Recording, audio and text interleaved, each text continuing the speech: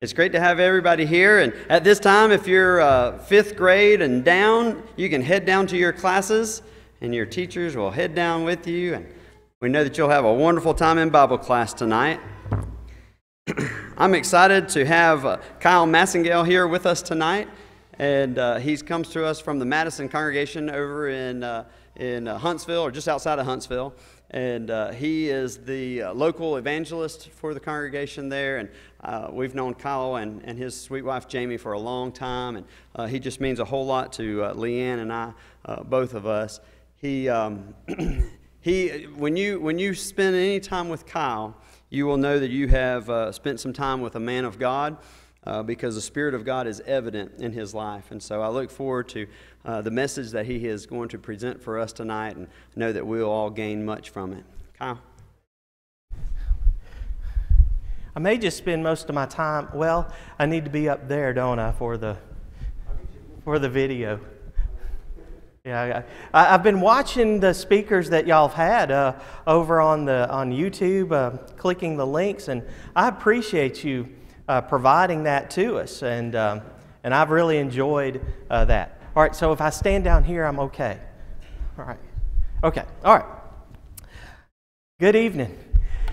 This is the first time I've really uh, stopped in Russellville. Uh, growing up as a child, we would always, this is before the major roads were cut through, uh, to go uh, over to the big town of Iuka and Belmont and uh, that area.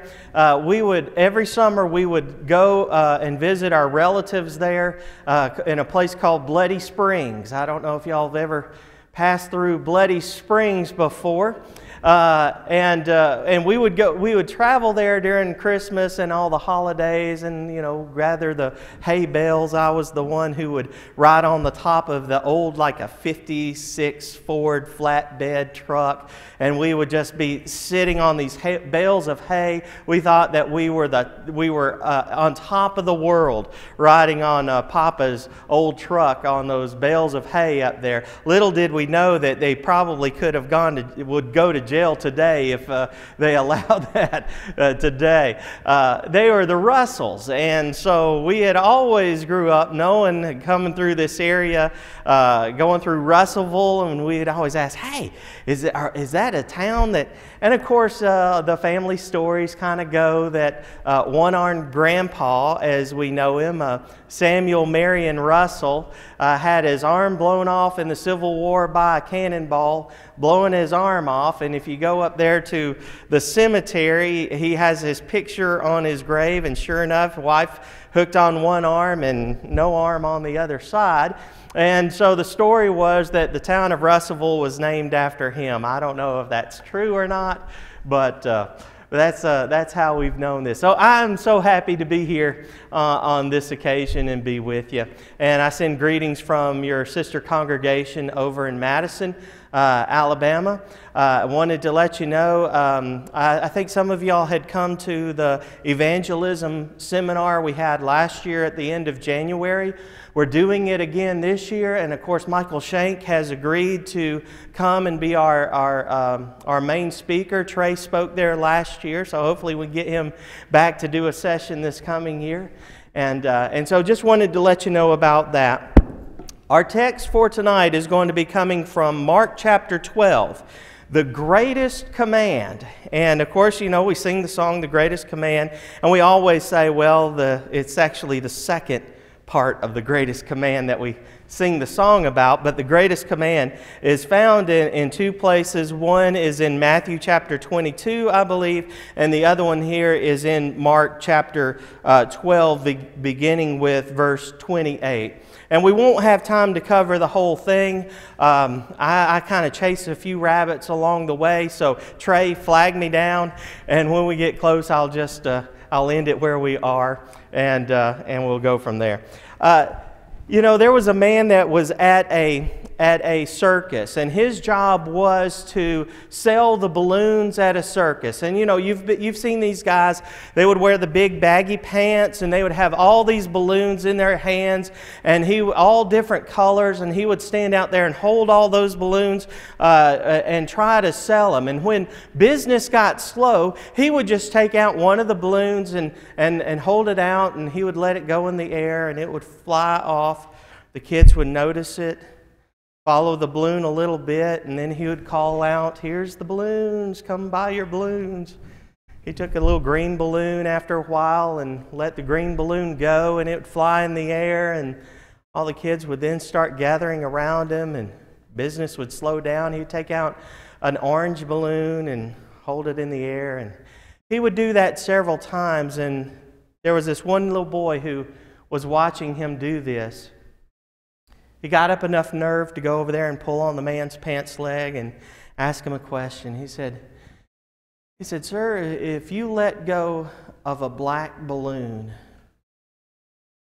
would it go as high as the rest of them? Of course, the little boy's skin was a little different than all the others. The guy with the balloon looked down at him and said, Son, it's not the color of the balloon that makes the difference. It's what's inside that makes it fly.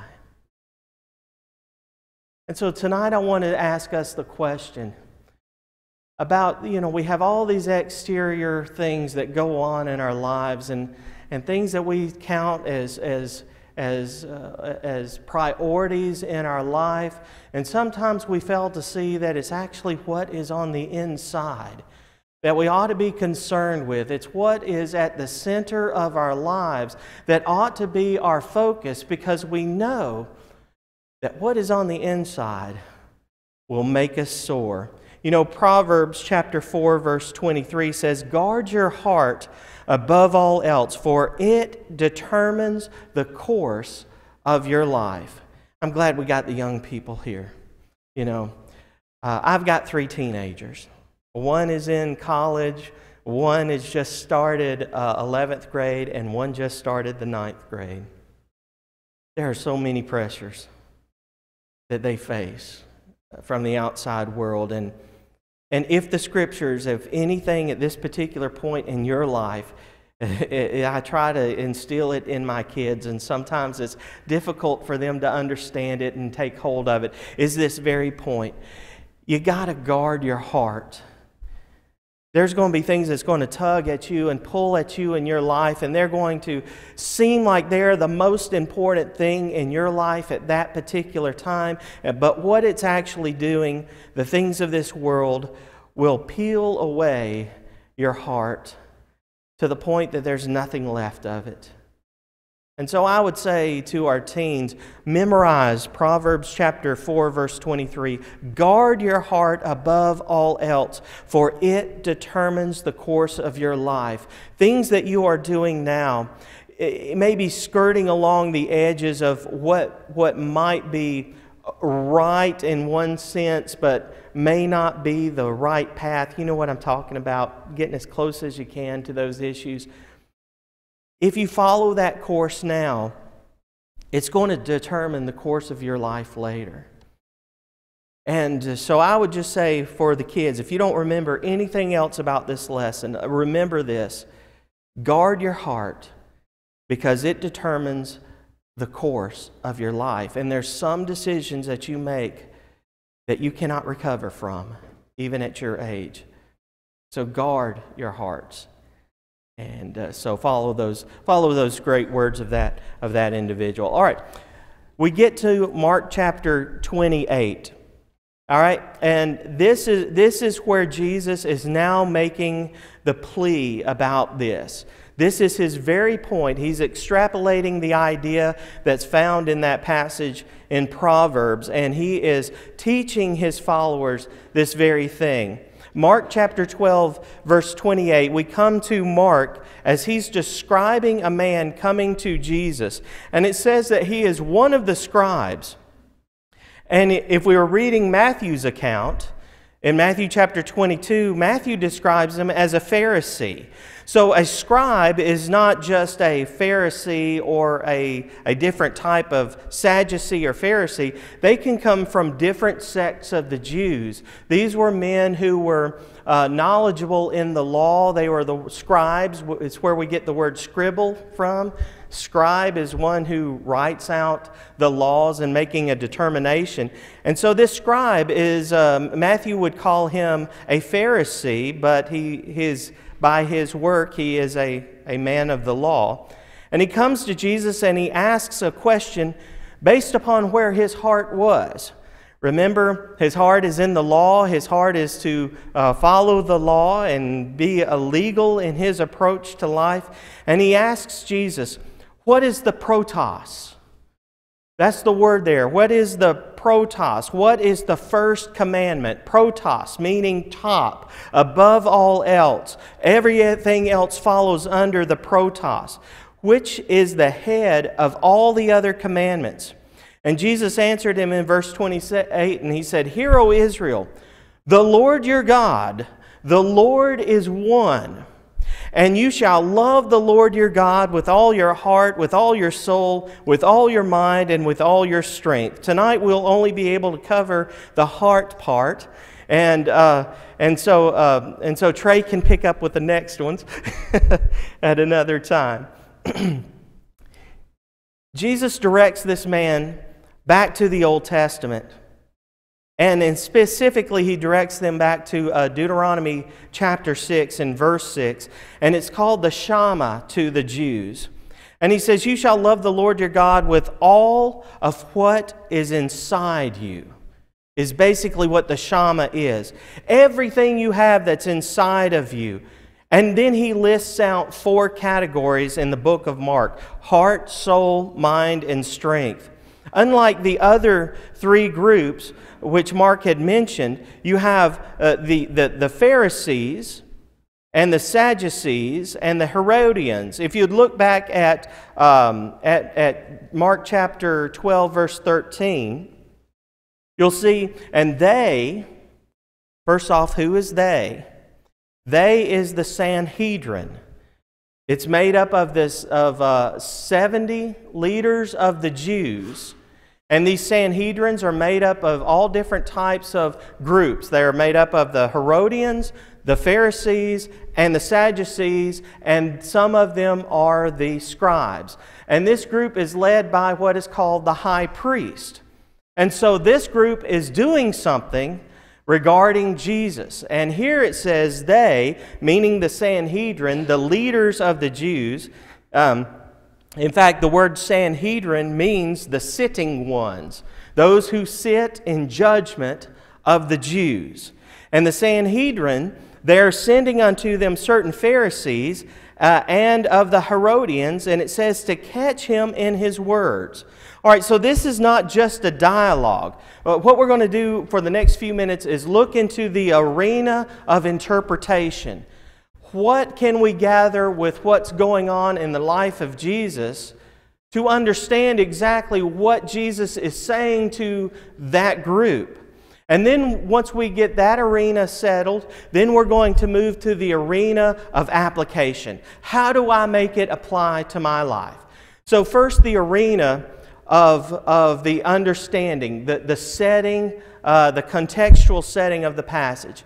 What we have here is, is not just Jesus going into a dialogue with one individual. What we're having here between Mark chapters 11 and 12 is an ongoing discussion of an interrogation of Jesus Christ. What they are doing is they're setting the groundwork to destroy him. And at every turn they're trying to destroy him, they're finding that he wins time and time again to the point that they get to where they just want to kill him. And if you go back to Mark chapter 11, uh, you'll see this uh, several times. It, it's very interesting. Uh, you see, chapter 11, Jesus comes into the city riding on a colt, and we know the story about how they were uh, to get that colt and bring him into the city. This was a sign of a king coming into a place of his own. And, th- and this was not going to be a symbol that they would escape the knowledge of. When they would see Jesus riding on a colt, knew who he was, knew that everyone was calling him, hey, this might be the Messiah, then they saw him riding in the city on a colt. What do they start doing? They start a political action is what's going on at this particular time. They take palm branches and they're laying them down before Jesus. Incidentally, Jesus is coming in on the side that it's called the gate of peace. Another word for it is the Lamb's gate. So Jesus is coming in the city on one side uh, of, of the city through the Lamb's gate, being hailed as their king. But what are the Jews actually celebrating this week, that week that Jesus was going in? They were actually not only celebrating or going to celebrate the Passover, but this was also the week that they were celebrating their, their revolt against their captors under the Maccabean reign. Uh, you know, between the Testaments, the Israelites had been under captivity before they went under captivity to Rome. And so the Maccabean revolt, or the hammer, is his name. He came out and he led the Jews in a revolt against their captors and actually won their freedom for a period of time. And then the Roman government comes in and takes them over again. Well, here this week, what they're doing is they're celebrating their, their rebellious act. All right? Coming into the city, here Jesus is. He's being hailed, Hosanna, Hosanna. And they're saying, Save us, Lord, save us.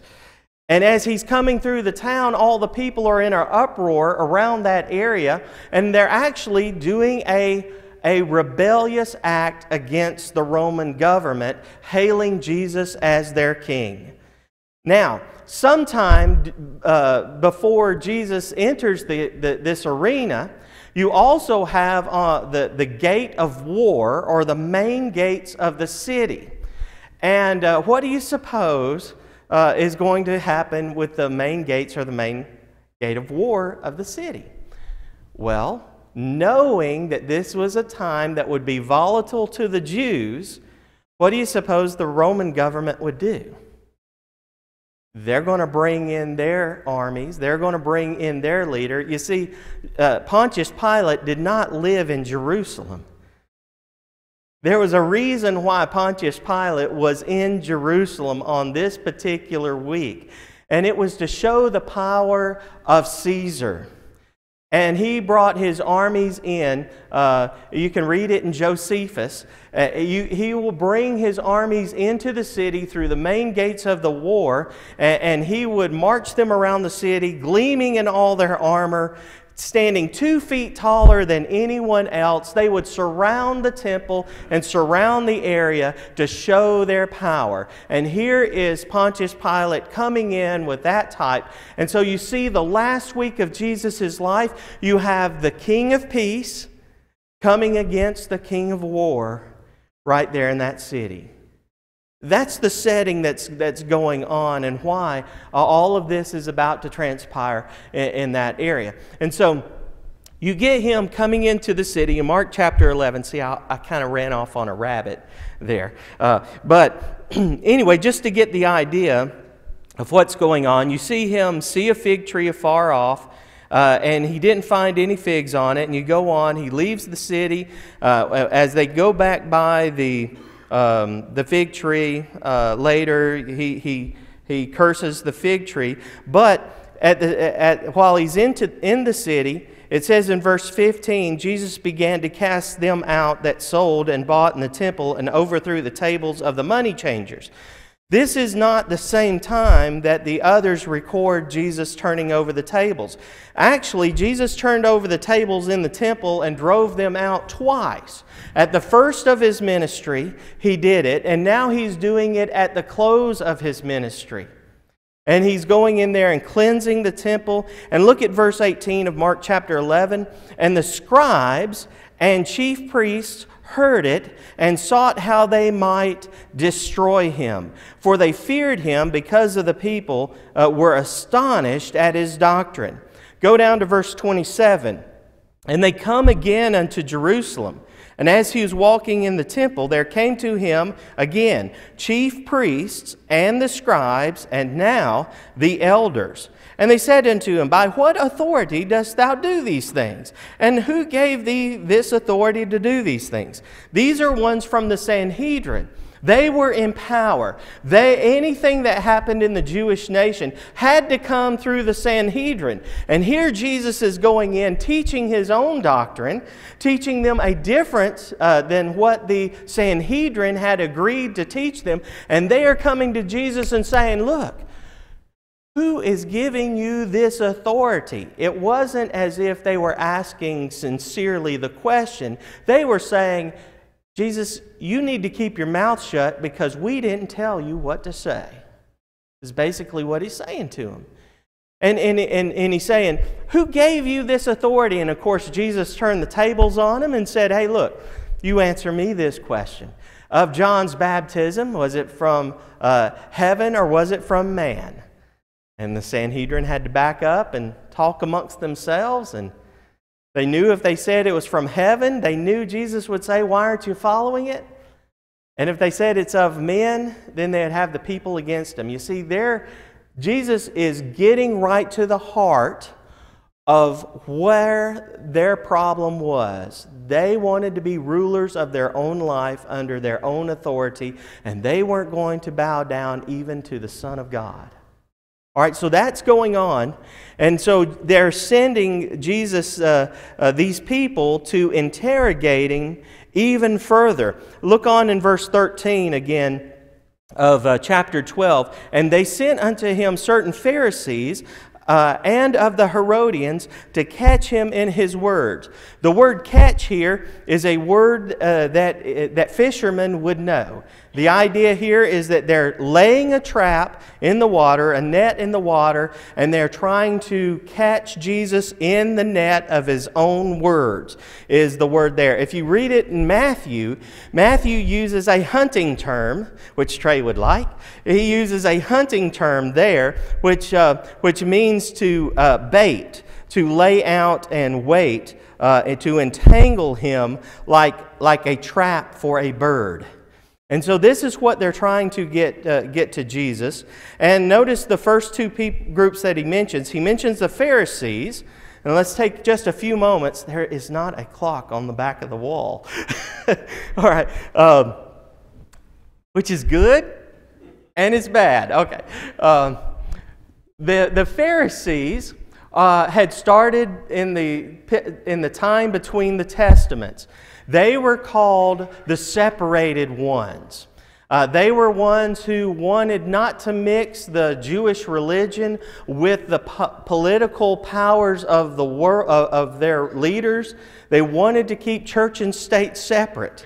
So they would call themselves the pure ones or the sanctified ones, uh, calling themselves the Pharisees, uh, and they would set themselves aside. They were so pious in the way they would follow the law is they would look at the law and then they would devise ways of putting hedges around the law so you wouldn't even get close to, uh, to violating the law of God. And they would, when they would set up one hedge, then they would look at that hedge and decide, well, maybe there's ways to get through that hedge, so we'll set up another one. And they kept setting up these hedges around the law to the point, uh, it got to the point where the only thing that they were studying was their own traditions. They were so concerned about only following the traditions that they had set up to protect the law that they actually forgot what the law actually said of itself. And that's the reason why you would read in, um, in places like, uh, like Matthew chapter 15, the Pharisees would come to Jesus and ask, Why do your disciples transgress the traditions of the fathers or the oral traditions? Uh, this is about the washing of hands. The Pharisees, they, how they would wash their hands would be that they would uh, dip their hands in the water several times and roll their hands up to the point that the water would then drip from their elbows. And so they would be, have washing hands all the way to their elbows, and then they would walk around like this until their hands dried. Well, what do you think the apostles were doing? Jesus' disciples were doing? They weren't washing all the way to the elbows, they're just washing like you and I would. And so that's the reason why he's saying here that they, they are unwashed hands, not following the traditions of how they're supposed to wash their hands. You see how crazy they were at that particular point? Um, and, and, and Jesus responds, Why do you transgress the commandment of God because of your tradition? See, the issue was their tradition. And they were being hypocritical in applying their tradition in place of God's commands. And Jesus warned the people in Luke chapter 12, verse 1 Beware of the leaven of the Pharisees, which is hypocrisy. And these are those that would give more weight to the oral tradition and act according to the form of the motion rather than acting from the heart of thanksgiving. They would pass judgment on others. Uh, let me give you an example of the things that they would discuss. They would, they would sit around and debate this very question. All right, see if you can come up with the answer. If a flea jumped on your leg on the Sabbath, can you swat him? Because if you swatted him, you would be doing labor on the Sabbath. And so they would debate that type of thing. another one would be if a woman was carrying her needle in her, uh, in her sewing and she forgot that she left her needle in her sewing, but on the Sabbath she carried that sewing in her in her satchel, would she be carrying a burden or laboring on the Sabbath because her needle, her item of work, was there? One other quick one. If a scribe whose work it was to write, if he wrote words on the Sabbath, would that be violating the Sabbath law? And what they would say, well, if, if, the, if the scribe is writing one letter, let's say on the wall, and then he writes another letter in the sand, which could be removed, then that's not working because the two letters never came together to form a word. These are the types of debates that the Pharisees would have among themselves. And, and so you had that type. And then the, the, other group that he mentions there are the Herodians. We won't have time to talk about the Herodians, but they were the political mover and shakers of Israel. They were the ones that wanted to mix their religion with the political powers to form a political union with those who were in power at that time. And then, of course, you would have the, the, the uh, Sadducees. And the Sadducees were the social elitists of that time. They didn't believe in death, or they believed in death. They just didn't believe in the afterlife. And without any afterlife, their motto was go for the gusto that you can now. And they became the social, uh, the, the, the, the, um, uh, the celebrities of that time, and they would move up the, the, the, the social realms or the social rungs of society to be the ones that everybody try, they wanted to, uh, others to look up to. And then, of course, you have the scribes speaking on behalf of the Sanhedrin. All right, let me get down to the point. The, the unique message of the Pharisee to the Pharisees. I, I want you to notice when Jesus spoke about heart, soul, mind, and strength. If you notice that each one of those categories applied to each one of the groups that Jesus was speaking to. When he says, Love the Lord with all your heart, he was speaking to the Pharisees who had put their own traditions above that which was God had set forth in their life. When you, when you get to uh, the, the subject uh, of, of the, the, the soul, he's talking about the devotion that one would have with all of his life. And that group, he's speaking to the Herodians. The Herodians who would divide their soul and their devotion between the powers that be and with uh, with God or try to. And then when you get to the strength, the strength here that he mentions is the motion of their religion. And the Sadducees' strength they found in the, in, the, in the social elitism. And Jesus was speaking directly to them. You must love the Lord your God with all your strength, with everything that you have on the inside of you, not divided for yourself, trying to move yourself ahead, but with everything that you own in this world, not devoted to yourself, but to, devoted to God. And of course, the mind. He speaks to the scribe. The, the, the, the legalistic view of what the scribes had in, in their mind, and he was asking, What's the greatest command? His idea was, I can get closer to God if I follow this command. And that's true. But he was leaving out so much. He was leaving out the fact that, his, that Christ's mind must be his mind. But he was going at it from the, from the standpoint that his mind was number one. The way he thought about, about God was right, regardless of what God had said or not. And so, first off, God, uh, Christ is speaking to four different groups. The command that was offered back in Deuteronomy chapter 6 was perfect to, uh, and applicable to those four different groups. Let's talk about the first one in our last few, few moments we have. Jesus said, starting out with the first word, hear. If anyone was to be admonished about their hearing, it had to be the Pharisees. Those that were giving their tradition, their attention to the traditions of men, he stated, You hear only the Lord. We see the words explicitly given uh, to this group about them opening their hearts and their ears to hear only the word of the Lord and not their own tradition. You shall love the Lord your God with all of your heart. The Pharisees needed that message. Because back in Matthew chapter 15, Jesus said of these people, These people honor me with their lips, but their hearts are far from me. In vain do they worship me, teaching are merely the human rules and doctrines.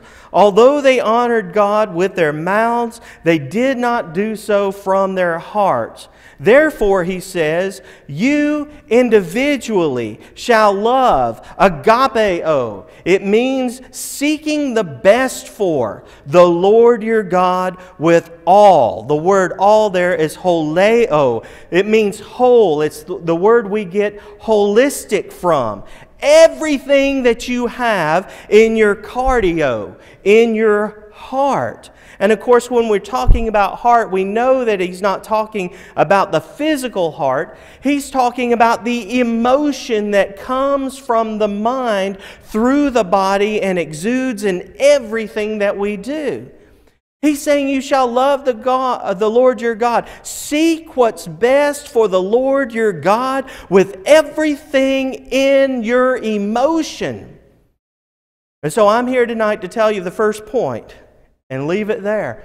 Religion has got to be one of emotion, one that exudes in everything that we do. Christianity is one of emotion. Faith, yes, but feelings as well. Conviction, yes. Compassion, all the more. It is not faith then feelings, but faith with feelings on equal standard. Conviction with compassion in equal measure in all that we do. You shall love the Lord your God with all your heart. Now, application. Four ways to do this in your conversion. In your conversion to Jesus. Romans chapter 6, verse 17 says, But God be thanked that ye who were once slave of sins have become obedient.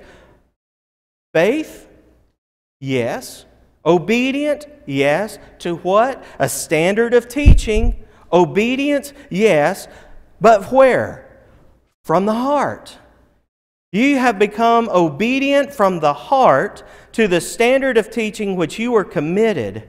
2 Corinthians chapter 3 verse uh, 2 and 3 You yourselves are a letter re- recommendation written upon our hearts to be known and read by all and you show that you are a letter from Christ delivered by us written not with ink but with the Spirit of the living God, not on tables of stone, but on tables of human hearts. The Holy Spirit marked the ways of Christ on your heart.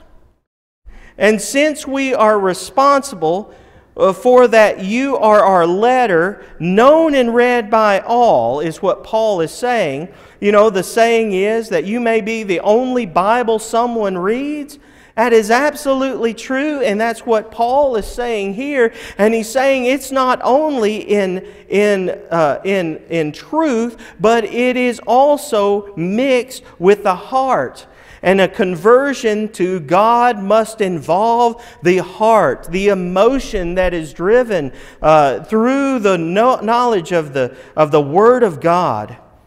And so, number one, in our conversion, we shall love the Lord our God with all our heart. In our compassion to others, in the day to day living as, Christ, as Christianity requires of us, it is a life that is to be lived before all in compassion from the heart. Colossians 3, verse 12. Put on then as God's chosen ones, holy, beloved, compassionate hearts kindness, humility, meekness, patience, bearing with one another. Uh, if one has a complaint against another, forgive each other. As the Lord has forgiven you, you must also forgive. In your compassion to one another in the body of Christ, have compassionate hearts. And in doing so, we then take Christianity into the realm of being a religion of emotion. What about our adulation? Our worship must come from the whole heart. Ephesians chapter 5, 19 through 20, addressing one another in psalms, hymns, with spiritual songs, singing and making melody to the heart, uh, from the, uh, to the Lord with your heart giving thanks always and for everything to God the Father in the name of our Lord Jesus Christ. Colossians 3:16 Let the word of Christ dwell in you richly in all wisdom, teaching and admonishing one another in psalms, hymns and spiritual songs, singing with grace in your hearts to the Lord. Ephesians chapter 2 says that grace has three components for us to exhibit one, mercy, two, love, three, kindness.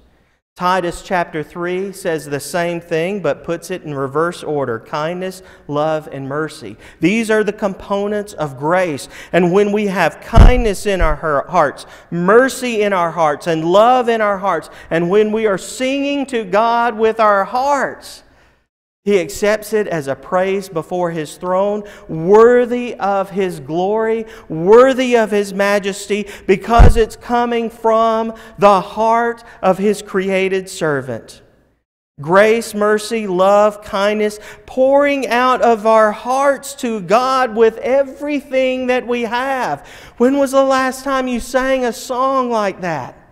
Pouring your heart out to God. My adulation of worship to God, yes, it must be in truth, but it must also be in the right spirit from the heart.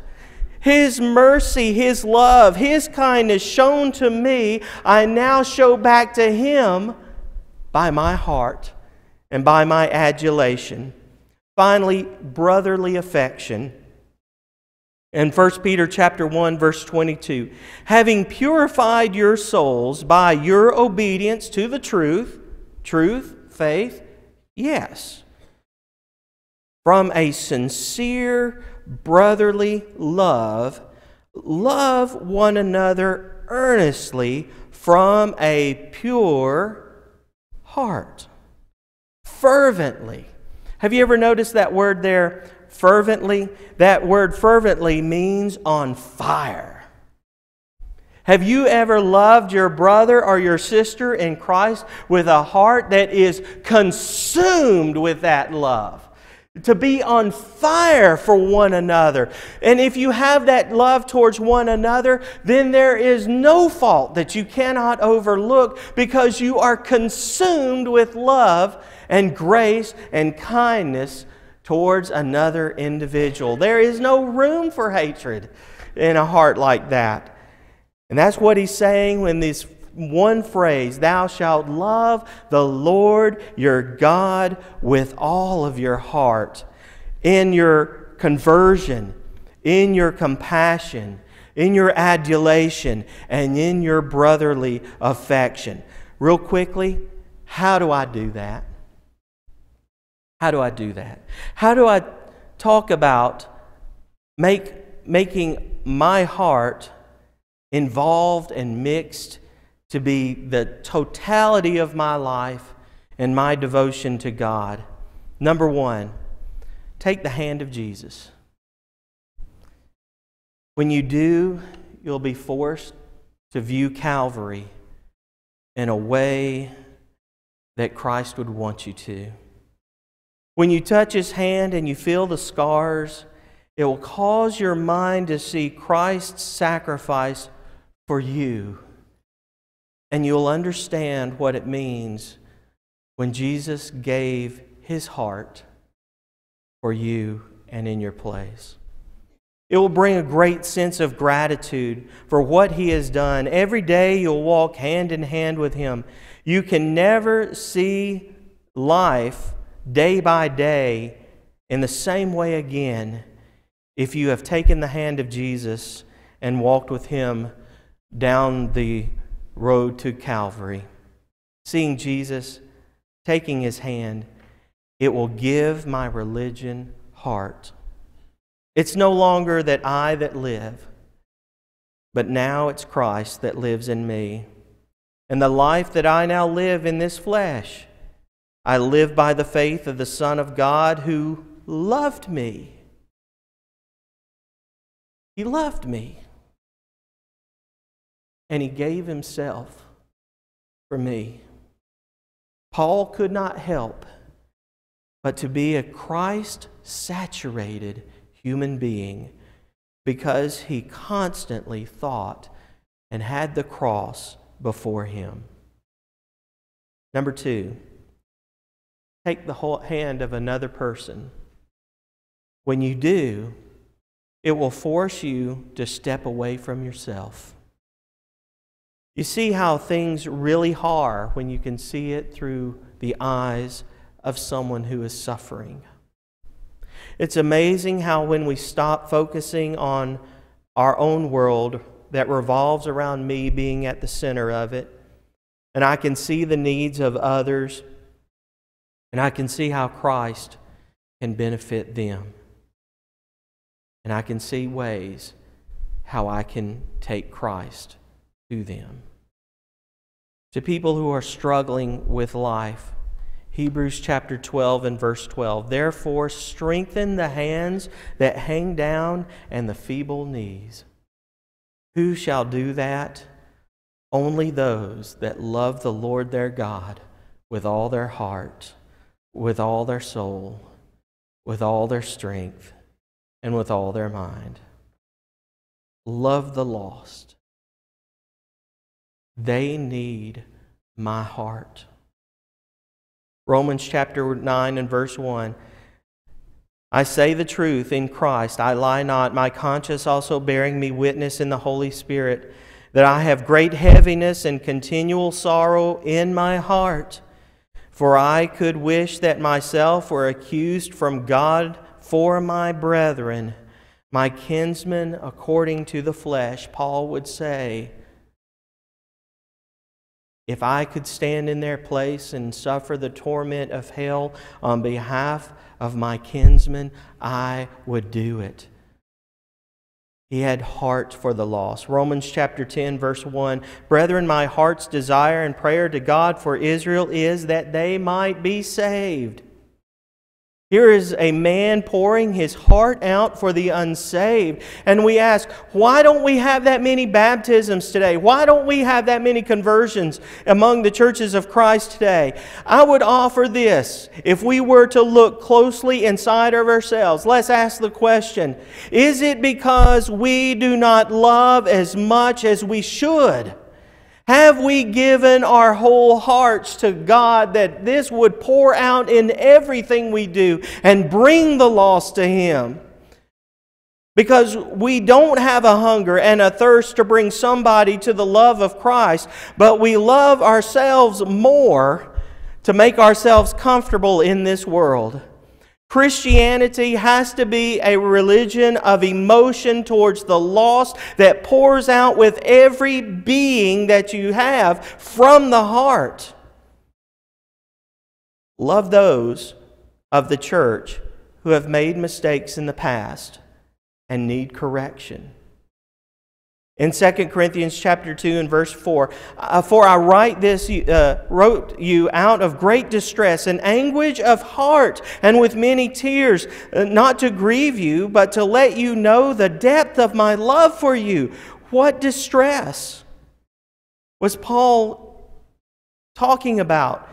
He was talking about a man who had taken a woman who was not his, who, who he was not supposed to have. And Paul was saying, I was pouring my heart out in this distress to you. In 1 Corinthians chapter 5, a man among the church was living in sin, and Paul was consumed in his heart for those who had made a horrible decision in their past and doing everything he could to help correct someone who had made a mistake to restore them to the fold. Finally, let me just add this. Do I give the invitation? Okay. Love those who need our forgiveness. You see, the book of Philemon was written for this very reason. In, Philipp, in Philemon chapter 12, he says, I have sent him back to you in person. That is, I am sending, listen to this, my very heart. You see, this was a slave that had run away from his master. And he had found Paul on some which way and got connected with Paul. Paul converted him, taught him the gospel, and now he's sending him back to his master with this letter in hand. And he says, I want you to accept him as you would accept me. I am sending him back to you in person. That is, I am sending my very heart. Love those who need forgiveness. They are the ones who need our hearts, and by reaching out to them, we can have the heart in our Christianity. Some time back, I read a story of two old friends who bumped into one another on the street one day, and one of them looked forlorn, and he was on the verge of tears, and his friends asked him, what in the world has, has happened to you, my dear friend? And he said with sadness, Let me tell you, three weeks ago, my uncle died and left me $40,000. Well, that's a lot of money, his friend said. But two weeks ago, my cousin I never knew, he died. Well, that's pretty sad. And he left me $85,000 free and clear. And the guy starts sobbing again, and his friend says, well, that sounds like a blessing to me rather than a, than a curse. And he says, Well, you don't understand. Today, uh, uh, last week, my great aunt passed away, and I inherited almost a quarter of a million dollars. And he began to profusely cry. Now, his friend was really confused and then said, Why are you looking so glum? And he said, Well, I got up this week and nothing. You see, sometimes we can be focused on the wrong things in our life. And our hearts may have a desire that's welled up within them that may not be following the words of the protos, the top commandment given by our Lord and Savior Jesus Christ love the Lord your God with all of your heart. And when you do that, you'll look at the cross like you've never looked at it before. And you'll look at others in this world who need love, need the compassion that you have, and need the Lord and Savior Jesus Christ in their lives so that they can know fully what it means to be a Christian and to love the Lord their God with all their heart, soul, mind, and strength. And so tonight I want to offer the invitation. Just simply put, have you put the Lord your God, protos, number one, above all else in your life? And has your life followed that path? If not, it's all right to say that we have fallen. I will be the first to admit it. There's times in my life that I have not put the Lord my God first in my heart. I regret it every day that I live because I lost a day that I could have lived to the glory of God.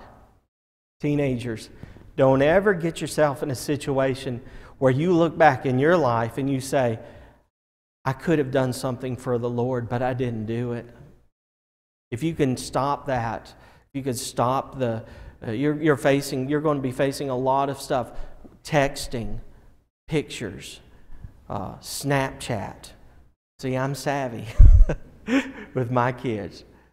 Snapchat uh, and all the other things that go along with, with those types of devices that will lead you in the wrong way. And you will look back on your life at one day and you will say, Why did I do that?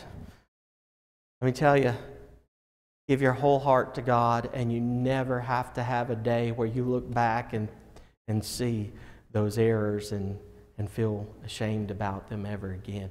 But if you have, the greatest thing is God has given his heart to us, and he forgives us every time that we fall, every time that we stumble. And he offered his heart upon the cross. All we have to do is deny ourselves and take up his cross and follow him. How do we do that?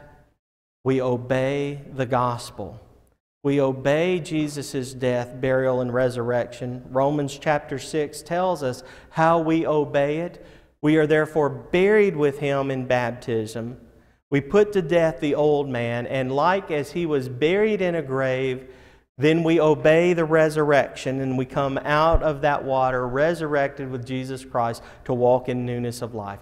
That is how one obeys the gospel, which is the death, burial, and resurrection of Jesus Christ. It's the only act of faith that, uh, that, that touches on the gospel in its obedience to it. And if you haven't done that tonight, we'll encourage you to do that. And if you need the prayers of this congregation to put your heart back on the right path, tonight's a great night to do it. A great group of people here to encourage you and to do that very thing. So, whatever your need is, won't you come as we stand and sing the song to encourage you?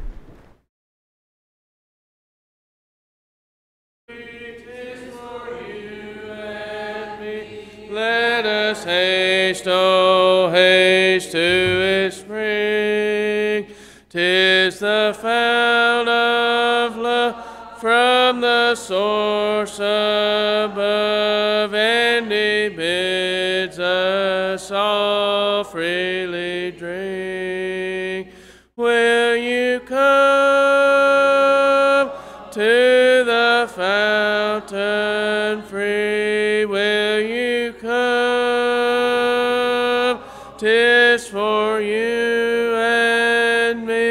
thirsty soul. Hear the welcome call. Tis a fountain open for all. There's a living stream with a crystal gleam from the throne